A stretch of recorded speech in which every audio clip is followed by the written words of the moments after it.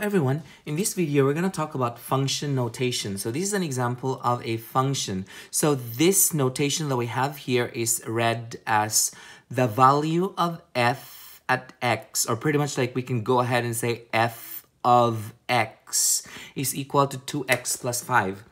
Now the f here represents the name of the function. Now it doesn't have to be f only, it can be uh, a of x, b of x, z of x.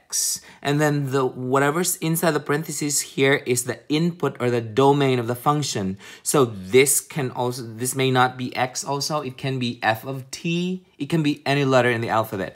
Now on the right side right here, 2x plus 5 is the output or range. Now let's have some examples here. We are given a standard notation and we're supposed to change this to its equivalent function notation. So pretty much like in a function, uh, we are just supposed from, we're given an equation or standard notation, we just have to change this y into f of x. So then we can rewrite this to its equivalent function notation as f of x is equal to negative 5x plus 8.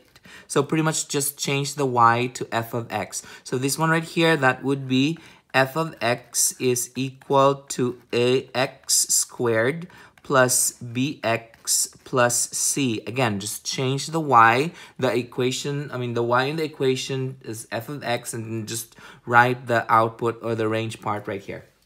Okay, so let's have another example here. Let C of X is equal to 3X be the cost in dollars of buying X ticket. Using the given function that we have here, C of X equals 3X, represent the following situation. First, it costs $3 to buy one ticket. So if I were to represent this as a function, I can go ahead and write C of 1, because remember, the X represents the the uh, the number of ticket that you uh, buy. So that, that it says it's one here. So I go go ahead and say C of one is equal to three, and that makes sense because if we have if x is 1, we put in 1 here and we put in 1. So 3 times 1 is 3.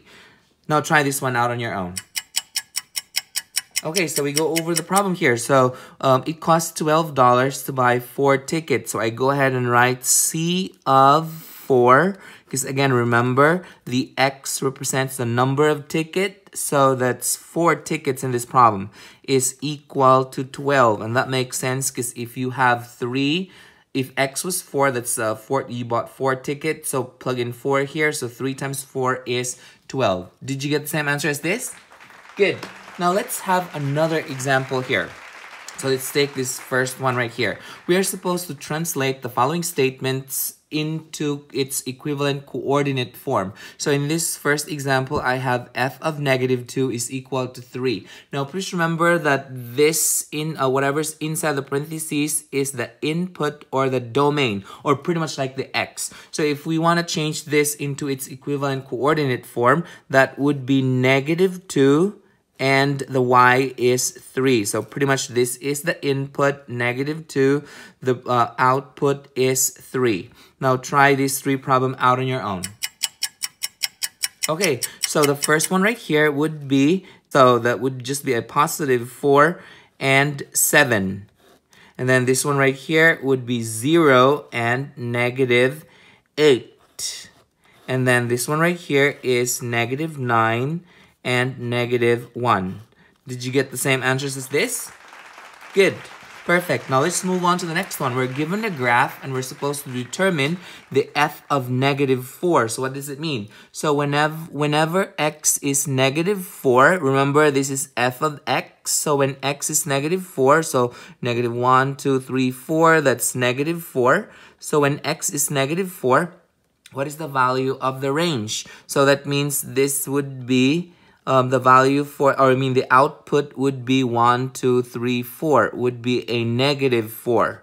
So when x is negative 4, the y is negative 4. Now try this three problem out on your own. Okay, so we go over the problem here. So when f, uh, uh f of 0, what is the value for that? So let's take this one here, f uh, 0. So then our y is negative 2. So that's a negative 1, negative 2. Now, if we have an f of negative 3, so negative 1, negative 2, negative 3. So let's uh, trace it on the graph. What is the y value for this? So that would be a 1, 2, and 3. That's a negative 3. And if we have a 5, so f of 5, so the x was 5. Now let's look for the value of y, and that would be a negative 1.